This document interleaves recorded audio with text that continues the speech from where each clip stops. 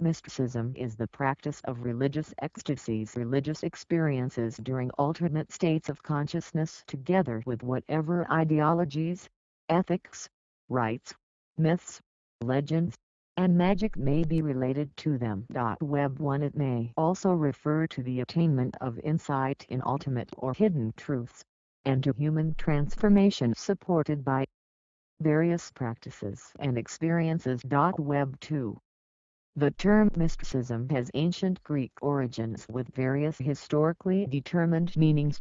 Web 1 Webbed derived from the Greek word, meaning to conceal web to mysticism referred to the biblical liturgical, spiritual, and contemplative dimensions of early and medieval Christianity. 1 During the early modern period, the definition of mysticism grew to include a broad range of beliefs and ideologies related to extraordinary experiences and states of mind.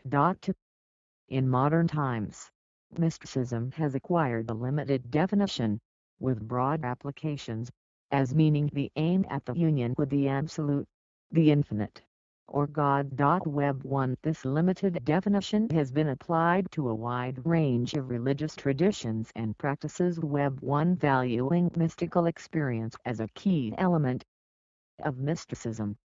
Broadly defined, mysticism can be found in all religious traditions, from indigenous religions and folk religions like shamanism, to organized religions like the Abrahamic faiths and Indian religions and modern spirituality, New Age and new religious movements.